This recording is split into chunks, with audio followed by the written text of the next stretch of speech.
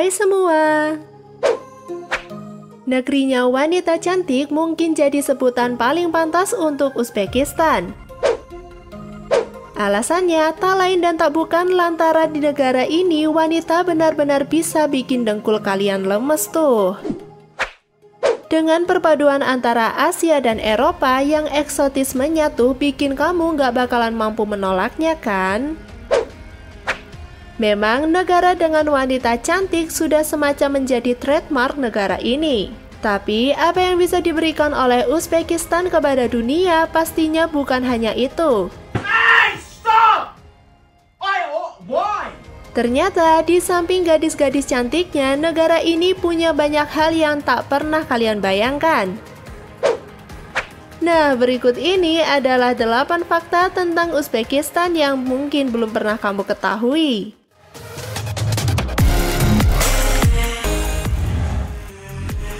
Satu, bebas visa. Kalau kamu suka traveling ke luar negeri, jangan lupa ya mampir ke Uzbekistan. Kabar baiknya nih, kini wisatawan asal Indonesia lebih mudah untuk melakukan perjalanan ke Uzbekistan. Karena pemerintah Uzbekistan baru saja memperlakukan bebas visa bagi turis Indonesia. Nah, turis Indonesia bisa berkunjung ke Uzbekistan dengan bebas visa selama 30 hari loh. Dengan waktu tersebut lebih dari cukup kan untuk menjelajahi berbagai destinasi wisata eksotik di sana.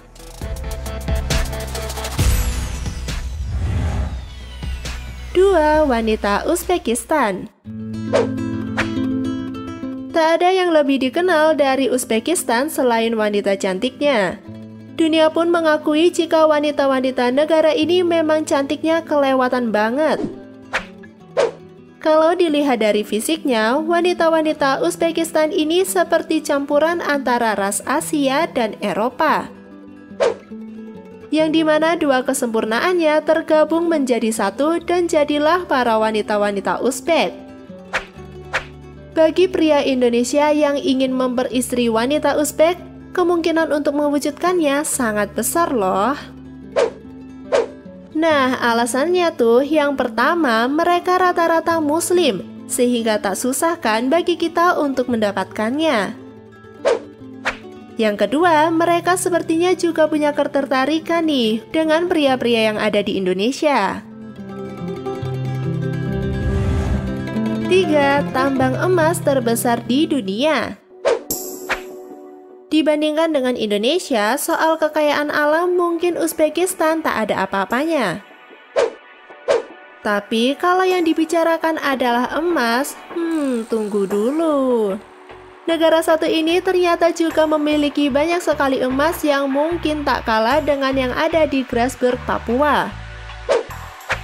Uzbekistan tercatat memiliki sebuah tambang emas aktif terbuka yang bisa dibilang terbesar di dunia. Dalam setahun, tambang ini sanggup memproduksi sekitar 90.000 ton emas. Kerennya lagi, tambang emas besar ini dikuasai oleh negara lewat perusahaan yang bernama Navoy. 4. Negeri dari para ilmuwan hebat Soal pencapaian di bidang sains, cukup jarang terdengar nama para ilmuwan Uzbekistan memberikan sumbangsihnya bagi dunia. Meskipun demikian, bukan berarti negara ini tidak berkontribusi apa pun. Mungkin tidak banyak yang tahu, tapi Uzbek adalah tanah kelahiran para ilmuwan legendaris yang sangat fenomenal. Ada beberapa ilmuwan legendaris yang terlahir di tanah Uzbek, Nah, misalnya aja nih, Ibnu Sina sang bapak dokter dunia yang membuka tabir ranah medis modern. Ada juga Al-Khwarizmi, seorang ahli matematika yang karyanya sangat fundamental, serta menyumbangkan banyak hal untuk astronomi dan geografi.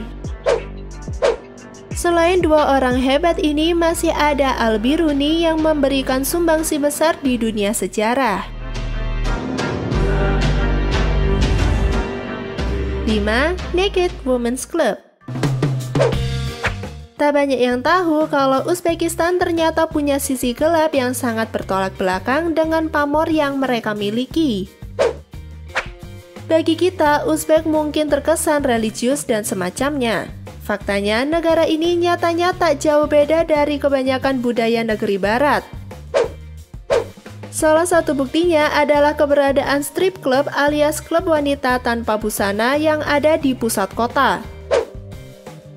Sama seperti klub telanjang kebanyakan, di sini juga dipamerkan wanita-wanita Uzbek yang menari-nari menggeliat sambil melepaskan satu persatu bajunya. Bagi pria hidung belang yang seperti ini benar-benar seperti surga mengingat cantiknya wanita Uzbek yang di atas rata-rata. 6. Jabat tangan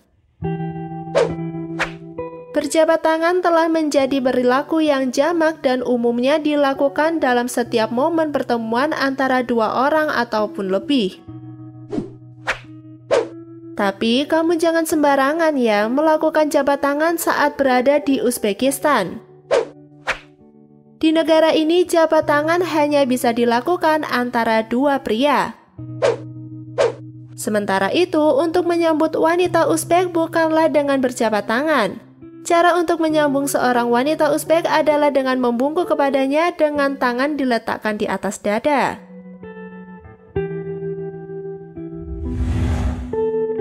Tujuh, budaya bertamu. Jika bertamu di rumah penduduk Uzbek, maka duduklah di tempat yang jauh dari pintu masuk. Tradisi Uzbekistan adalah bahwa tamu yang paling dihormati adalah yang duduknya paling jauh dari pintu masuk rumah mereka. 8. Maraknya perjodohan Menikahi wanita Uzbek itu bisa sangat susah, tapi kadang juga mudah.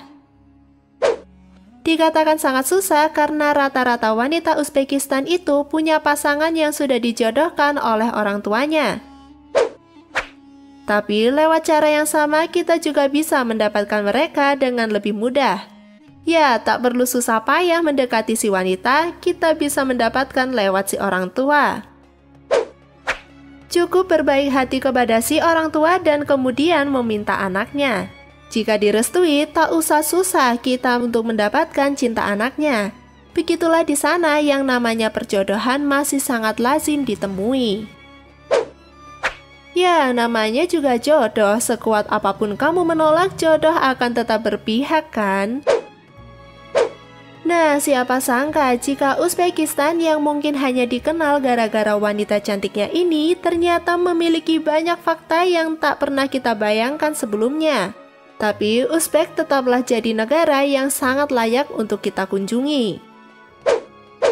Terima kasih sudah menonton, jangan lupa beri like and share juga ya. Tonton juga video kita yang lainnya. Oke, thank you guys. Bye-bye.